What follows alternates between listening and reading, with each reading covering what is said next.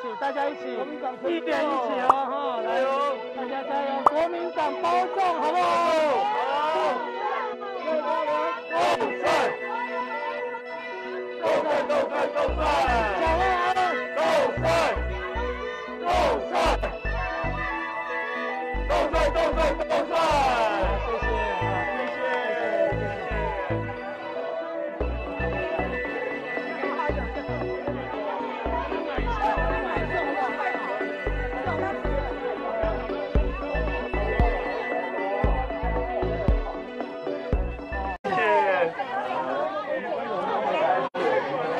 帮他买一下，帮他买送的，救护车，不要找不到救护车。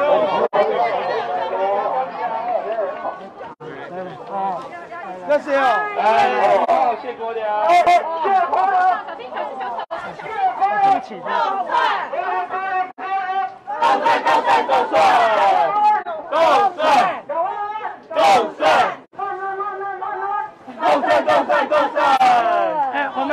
我们外面有救护车，我们走里面好不好？我们走到里面，因为外面有救护车，我们都进来。来来，我们都进来。这样子也不用。蒋万安跟谢国良今天在基隆扫街拜票，但是遇到救护车经过，明明救护车就在前面，路旁民众也已经高喊让让，但是蒋万安跟谢国良继续大喊竞选口号，喊完动算才要让路，简直是泯灭人性。为了选举选到没有良心吗？平常我们在路上看到救护车，一定是尽可能的靠边行。但是蒋万安跟谢国良却硬要从救护车前面过马路，让救护车等到他们喊完口号才能通过。难道选举比救护重要？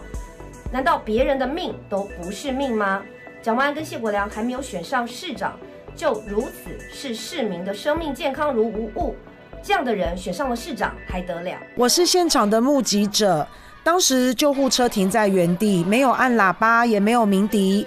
但是救护车即使是停止的状态，谢国良、蒋万安委员还是赶快跟动路线。蒋万安委员说不要挡到救护车，谢国良委员说外面有救护车，我们走里面。等到现场的人都离开了之后，救护车其实都还是在原地等待，所以根本就没有挡到救护车的问题。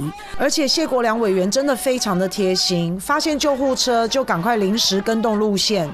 那也还好，谢委员对当地的环境很熟，所以改变路线，他也可以很好的引导现场民众。那你们外面的救护车，走到里面。走走里面。选举应该不用搞到这样没有人性吧？是不是整个过程没有毛病可以挑了，就只剩下救护车可以讲？这样会让我们在现场看到的民众觉得很傻眼，又非常的无奈。